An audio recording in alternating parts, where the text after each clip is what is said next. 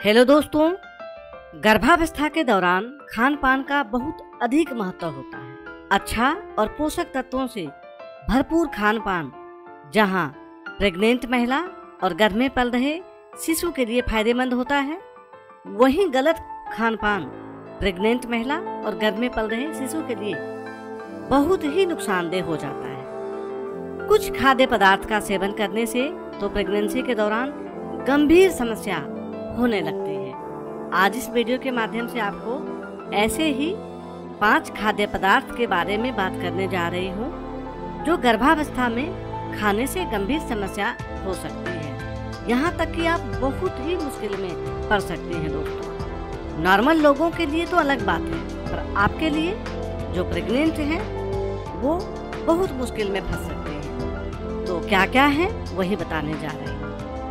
पहला तो है दोस्तों कच्चा अंडा और अधपका नॉनवेज प्रेग्नेंट महिला को प्रेगनेंसी के दौरान अंडे और नॉनवेज का सेवन तो ज़रूर करना चाहिए, क्योंकि इसके सेवन से महिला को स्वस्थ रखने और प्रेगनेंसी में आने वाली कॉम्प्लिकेशंस को कम करने और गर्भ में शिशु के बेहतर विकास में मदद मिलती है। अगर महिला कच्चे अंडे और नॉनवेज का सेवन करती हैं जो अच्छा से पका हुआ नहीं है तो आपके लिए मुश्किल भरा हो सकता है, क्योंकि कच्चे खाद्य पदार्थ में जो नॉनवेज होते हैं, उसमें साल्मोनेला लिस्टेरिया ई कोलाई जैसे हानिकारक बैक्टीरिया मौजूद होते हैं। अगर आप खाती हैं और प्रेग्नेंट हैं तो आपको उल्टी दस्त डायरिया जैसी समस्या हो सकती है, और इसका सीधा असर आपके घर में पल रहे शिशु पर पड़ेगा, दोस्तों।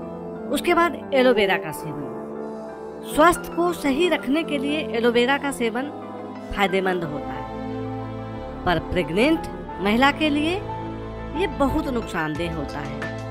तो प्रेगनेंसी के दौरान एलोवेरा का सेवन नहीं करने चाहिए। इसकी वजह से गर्भपात तक की समस्या आपको हो जाएगी दोस्तों। आप परेशानी में आ जाएँगे, इसलिए एलोवेरा से दूर रहें। कच्चे पपीते का सेवन भी प्रेगनेंसी के दौरान नहीं करना चाहिए, क्योंकि इसमें लेटेक्स की मात्रा होती है, जो आपके घर में पल रहे शिशु के विकास पर असर डालती है। साथ ही से संकुचन भी शुरू हो जाता है, जिसकी वजह से गर्भपात जैसी समस्या होने का खतरा बढ़ जाता है। तो प्रेग्नेंट महिला को कच्चे पपीते का सेवन नहीं करना चाहिए। उसके बाद मछली का सेवन। प्रेग्नेंट महिला मछली का सेवन ज़रूर करें।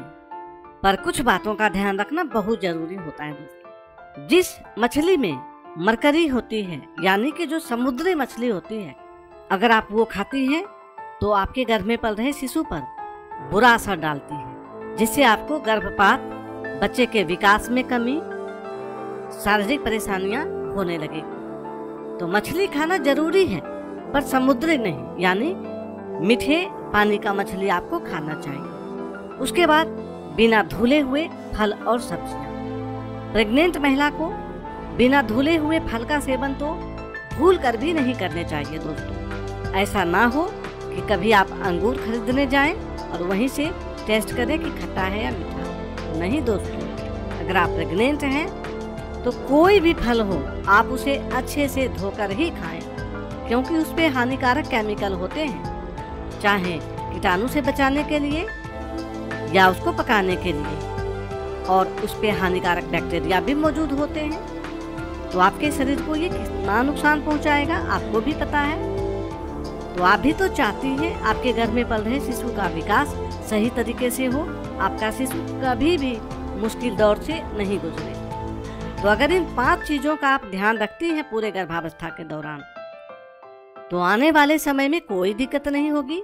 कॉम्प्लिकेशंस का खतरा नहीं होगा दोस्तों, और आपके लिए फ़ायदेमंद होगा। आप नुकसान में नहीं रहेंगी। तो मैं आशा करती हूँ, आप इन पाँच चीज़ों को ज़रूर इग्नोर करेंगी गर्भावस्था के दौरान। आपको ये वीडियो कैसा लगा? प्लीज़ बताएँ। इस वीडियो को ज़रूर लाइक करें शेयर करें और चैनल को ज़रूर सब्सक्राइब कर लें। आपका बहुत बहुत धन्यवाद। Thank you very much